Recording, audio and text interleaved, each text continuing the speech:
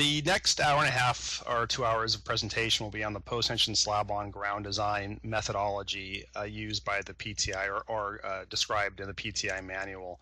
Um, this is almost a, uh, solely for residential foundations. This has nothing to do with, um, let's say, actual building structures that use columns um, in a structural sense. So if you're looking for something for structural mat slabs for a office building in a hotel, hotel, there is a webinar for mat designs that I did about a month or two ago that you'd probably be more interested in. But this is almost exclusively for load bearing, wood framed, metal stud bearing type structures using the PTI methodology.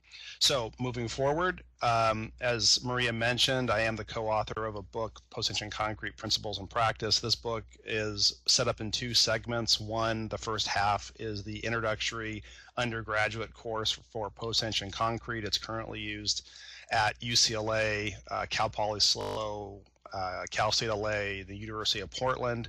Um, the second half of the book is basically what to do, how to use PT in the job area and industry. So pretty much we have a lot of design examples for parking garages, podiums, hotels. There's a uh, section on diaphragm design, observation, and in particular, there's a chapter about slabs on ground, which is basically where this webinar comes from. So if you are interested in further aspects of post-tension concrete, or in particular the slab on ground aspect, uh, please look at the book. You can purchase it through SK Ghosh Associates. They have a hard copy and a PDF ebook copy as well.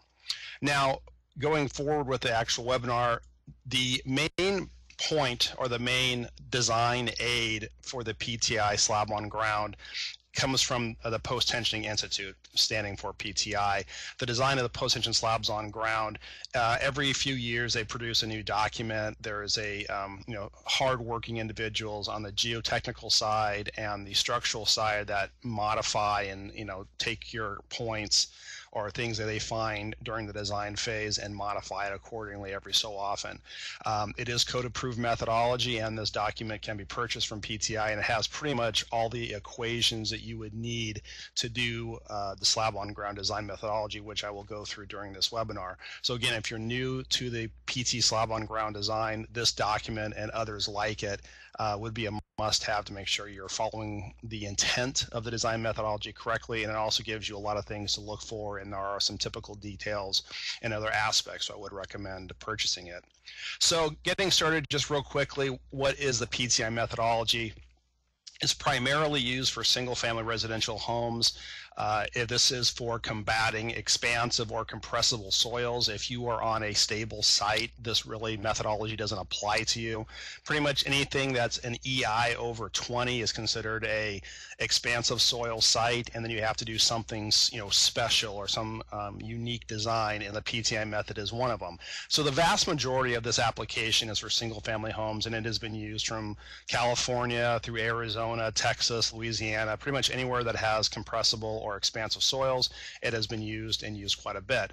Now, in my neck of the woods in California, what is happening is there's not a whole lot of home construction in terms of single family homes, but there is a substantial amount of apartments. And so your four or five levels of wood apartment buildings, these huge complexes, most times uh, are still used the PTI methodology. You can do it to about 2,500 to 3,000 pounds a linear foot of a bearing pressure um, uh, or bearing load system. But again, it's primarily built for a bearing wall framing application. If you're using an apartment complex that has primarily columns, uh, this may not exactly be the methodology, or you'd have to figure out a way to amortize that load out to model more of a bearing wall type structure. It's really meant for, again, it was developed in Texas, uh, which I'll get into in a little bit, but it was effectively developed for uh, single family homes uh, for expansive soils that primarily is a bearing wall system.